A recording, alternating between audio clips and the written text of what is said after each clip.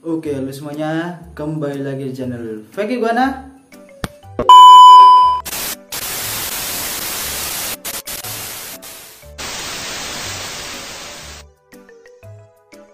Oke teman-teman, jadi kali ini ini malam ya, jam berapa itu? Setengah 12 lebih, eh setengah 12 kurang teman-teman, setengah 12 kurang. Ini alhamdulillah barusan panen teman-teman barusan panen apa namanya? Panen baby iguana teman-teman. Oke? Ini. Nah. Jadi sebenarnya masih ada lagi di inkubator yang masih apa namanya ya? Sudah ya muncul kepalanya saja teman-teman. Muncul kepalanya, kepalanya saja. Dan ada yang sudah keluar tapi apa ya pusernya ini ari-arinya lah. Itu masih ada tinggal sedikit ekyok ekyok cadangan makanan dia ya ekyok cadangan makanan dia masih ada sedikit. Ini di sini yang sudah saya ambil ini sekitar uh, 9 ekor teman-teman. 9 ekor sudah saya pisahkan sudah saya keluarkan dari inkubator ya. Dan ini sudah saya lampu teman-teman. Soalnya suasana di sini di Lumajang sangat dingin teman-teman. Sangat dingin. Dan ini juga kan lagi erupsi Semeru teman-teman. Erupsi Semeru. Memang kalau malam dingin di sini teman-teman.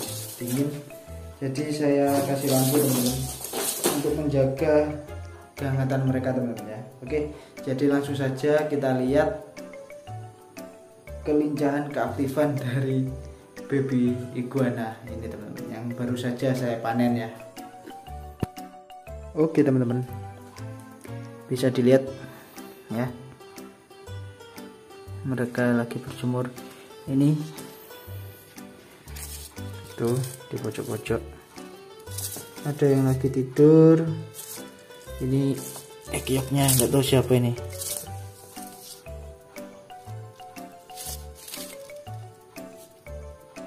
sisa sedikit.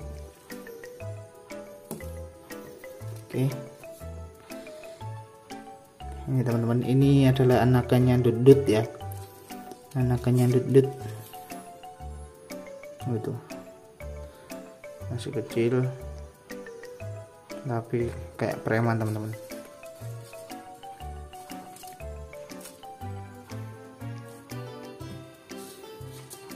Ini jam mereka tidur teman-teman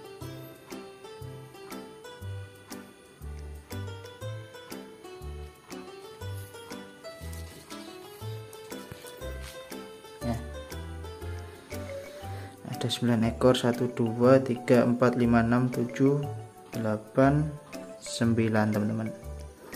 Masih ada lagi yang belum menetas. Untuk kloter dari anakannya dudut ini menyisakan berapa ya? Sekitar 10 atau 11an lagi teman-teman. Soalnya telurnya besar-besar teman-teman. Terus untuk kloter berikutnya itu ada anakannya si betina dit-dit ya. Sama jantan hijau yang kecil itu. Itu telurnya kecil-kecil. Itu mungkin sekitar seminggu lagi teman-teman. Coraknya bagus teman-teman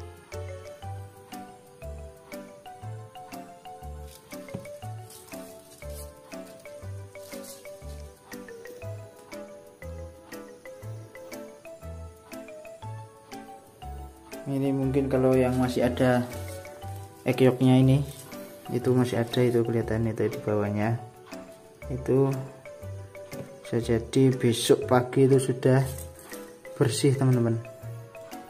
Sudah masuk ya.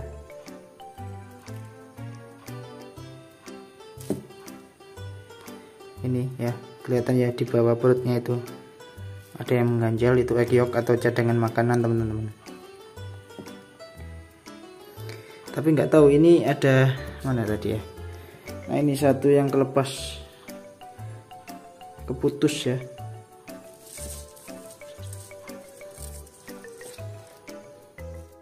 Oke teman-teman jadi saya barusan ngambil ini wadah ini teman-teman dari rumah orang tua.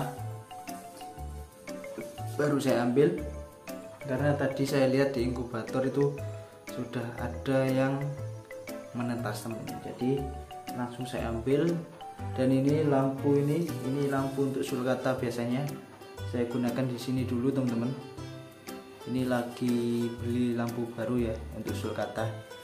Untuk lampu yang ini eh untuk lampu yang ini biar di sini saja. Nanti untuk kloter berikutnya untuk apa namanya telur yang menetas dari indukan yang berbeda itu sudah ada lagi tempatnya wadah seperti ini. Yang dulu saya pakai apa namanya teman-teman yang saya gunakan untuk indukan mereka bertelur teman-teman ya. Masih ingat mungkin teman-teman? Dulu ini saya gunakan untuk indukan betina yang bertelur. Di dalamnya dulu pasir tadi sudah saya bersihkan. Jadi aman ya. Aman sekali. Sudah bersih dikasih alas koran ya. Alas koran ini saya kasih alas koran soalnya apa? Karena koran ini daya serapnya itu tinggi teman-teman. Daripada kertas-kertas HVS yang saya biasa gunakan pada apa namanya baby up itu itu itu daya serapnya masih kurang. Kalau koran ini sangat bagus teman-teman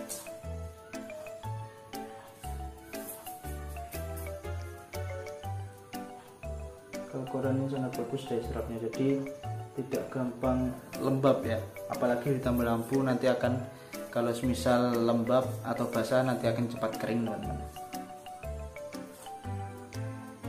Oke. Mungkin besok saya ini ada tambahan lagi mungkin besok yang akan keluar teman-teman.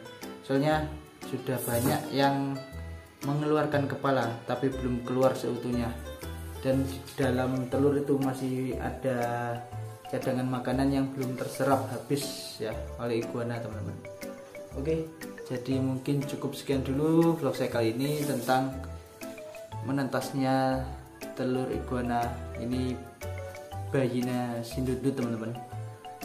Oke, terima kasih sudah menonton. Jangan lupa like, comment, subscribe-nya teman-teman.